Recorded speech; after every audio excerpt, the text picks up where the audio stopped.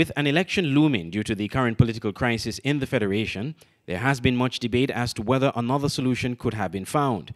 There are some, like Premier Mark Brantley, who argued that the Governor General could have acquiesced to the request of the then six members of Cabinet to remove the Prime Minister and appoint Deputy Prime Minister Shawn Richards as his replacement. In his view, this would have avoided an election.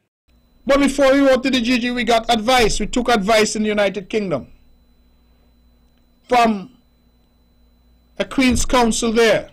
I don't mind disclosing his name, Sir Geoffrey Robertson QC, senior constitutional lawyer, who gave us advice and told us that the GG had the authority, on his advice, once he was satisfied that the person as prime minister no longer commanded a majority of elected members, that the GG could do what was necessary because the GG had an ongoing obligation to be satisfied throughout the term that the person in the chair of prime minister always had the support of a majority of members. The Governor General, in response, said he was legally unable to do so. The opposition St. Kitts Nevis Labour Party agrees. Prior to the Governor General's response, leader of the Labour Party, Dr. Terrance Drew, in a statement, said the Governor General could only have removed the Prime Minister before the first meeting of the National Assembly after an election. The closest scenario to the present situation that is entertained in the Constitution is laid out in subsection 7 of section 52, which allows for the removal of the Prime Minister if and only if it happens before the first sitting of Parliament after the appointment arising from a general election. It has also almost been two years since the last general elections in St. Kitts and Nevis. The Prime Minister, not wanting a motion of no confidence to succeed against him, opted to have Parliament dissolved, with a date for fresh elections to be announced. SKN Newsline sought the views of former parliamentarian and leader of government business in the National Assembly, Sam Condor. My understanding of the, of the matter is that uh, the Governor General did not have the constitutional authority.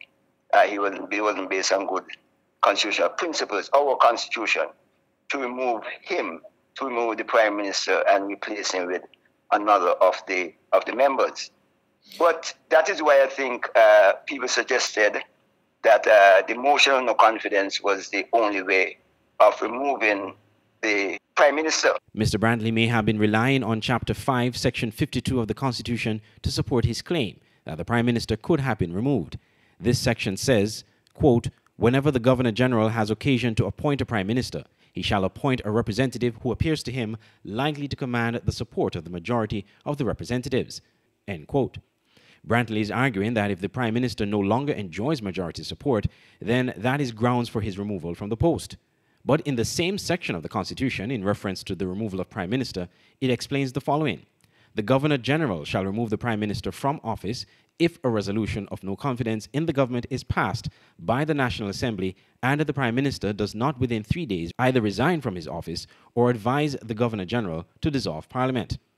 It also says if at any time between holding of a general election of representatives and the first meeting of the National Assembly thereafter, the Governor General considers that in consequence of changes in the membership of the Assembly resulting from that election, the Prime Minister will not be able to command the support of the majority of the representatives, the Governor General may remove the Prime Minister from office.